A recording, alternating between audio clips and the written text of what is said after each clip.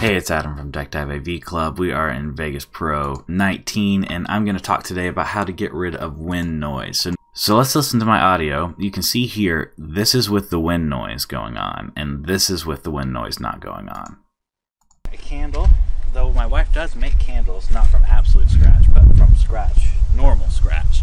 Uh, I'm using some of these little tiny candles because hers would be hard to do the heating uh, element I'm in. I am starting a fire with these magic fire starting sticks. It's Not from absolute scratch, but from scratch, normal scratch. Uh, Even when I'm looking straight at the microphone, it's still not uh, ideal. So we need to do something. The wind is distracting and loud. We can't get rid of it. The wind noise is there. It's not going away. But what we can do is reduce it and get it to the point where the wind noise is no longer dominating the shot.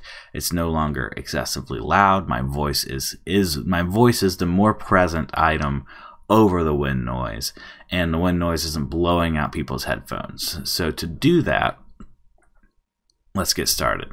We need to uh, go to our track effects here. Um, you can do all these if you right click the track itself. You can do all these by adding audio event effects, um, but we're, if you need to do it just to the event itself, but I'm doing it to the track because that'll be more helpful for me because I'll be cutting this into pieces later. Um, so I'm going to go to track effects and uh, let's go to the track EQ. Now your voice is right around here between like 80 and a little over 160. This is like your primary area where your voice is. However, you will have timbres of your voice, pitches of your voice, harmonics of your voice that travel throughout a, lot of the spectrum. This is really the sweet spot about where your voice is. So when you start messing with this area, you start messing with your voice, and that's not what we want to do. However, wind noise is low and bassy, and over here is our low bassy side of things. So if we take this and we drop it down, and yours will start around right here. Uh, if you take it and you drop it down and choke it up, you can choke out the bass noise. Um, and I wouldn't really go past 80, but you can choke out a lot of the bass noise. But right here, I'm softening my voice too. So if I increase the roll off, I can have a sharper angle right here, and I can push this back a little closer to 80, where now I'm not affecting my voice range near as much. Um, I'm going to try to put it right around there. So let's listen to it uh, again now. Not from absolute scratch, but from scratch, normal scratch. So you can see um, it's no longer like getting close to peaking. So let's watch it without, and you'll see that it'll it'll get right up. This is our audio levels. It'll get right up to the top.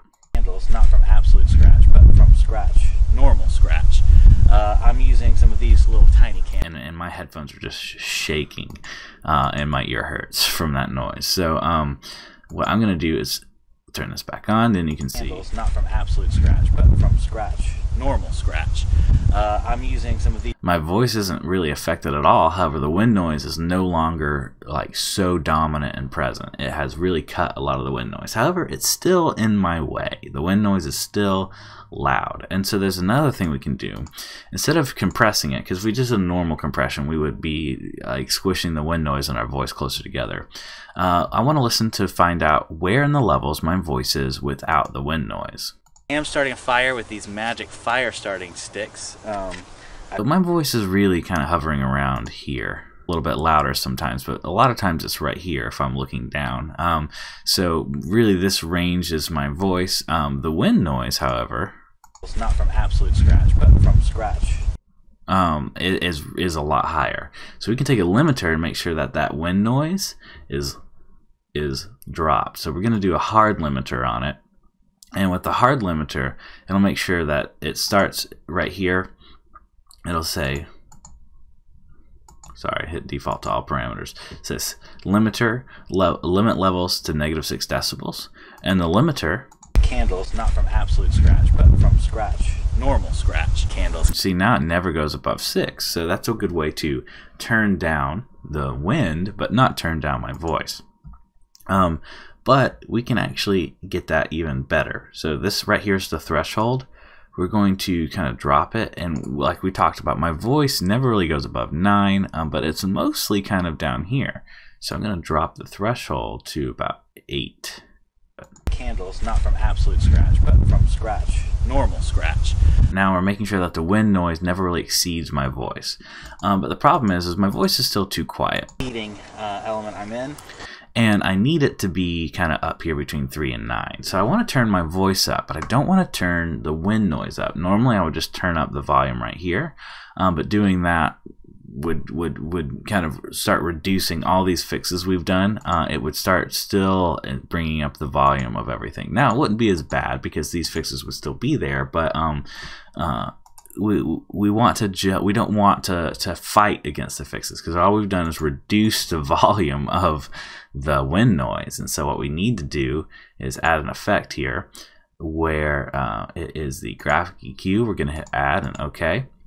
And here um, we're going to go to where my voice is and uh, we're going to try to kind of isolate just my voice. So let's let's do that here. Uh, I'm using some of these little tiny candles because hers would be hard to do the heating uh, element I'm in. I am starting a fire with these magic fire starting sticks. Um, I've seen them start a fire with ropes. I don't have that amount of time. A candle though my wife does make candles, not from absolute scratch, but from scratch, normal scratch. Uh, I'm using some of these little tiny candles because hers would be hard to do the heating uh, element I'm in. I am starting a fire with these magic fire starting sticks. Um, uh, I'm using some of these little tiny candles because hers would be hard to. So there, that's that's kind of my voice, and I'm gonna kind of just do this, drop off everything that's not my voice. Um, this is not a good uh, natural looking EQ. Um, don't just like copy my EQ because yours is going to be completely different. What I've done is I've listened uh, to where my voice, I can just kind of pull up the minimum amount I need to have my voice sound clean and clear and not distracting um, uh, while everything else is down. So that way when I raise the volume, right here on the output gain, uh, I'm not, I'm only raising the volume on this part. I'm not raising the volume on everything. From scratch, normal scratch. Uh, I'm using some of these little tiny candles because hers would be hard to do the heating uh, element I'm in.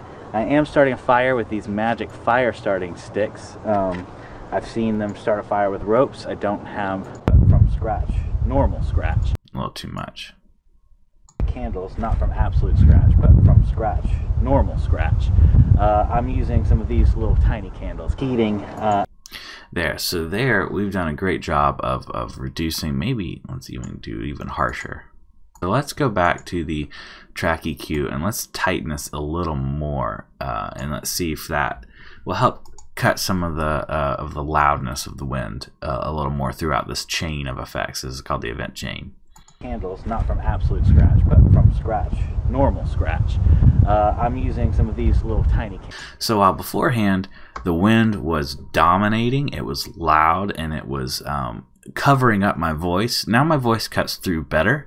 The wind isn't so loud and um, I've not fixed the problem, but I've reduced it. So now, uh, what we want to do is when the viewer watches, we want them to be able to hear my voice and focus on what's going on, and not just constantly think, "Dang, that wind." Thank you so much for watching. Like if this video helped you out. Subscribe if you're looking for more videos like this one. I'll see you next time.